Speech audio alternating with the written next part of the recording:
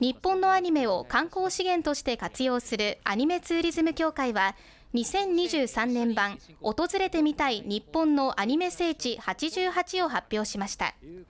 今回名古屋市とともに聖地に認定された豊田市の太田市長は四季桜と楓の見事なコントラストをご覧にお越しくださいと挨拶しました。中京テレビなどが制作放送したアニメ四季桜は四季桜で有名な豊田市小原地区が物語の重要な場所として登場しています。この企画は4年前から毎年世界のアニメファンの投票をもとにリストを更新しています。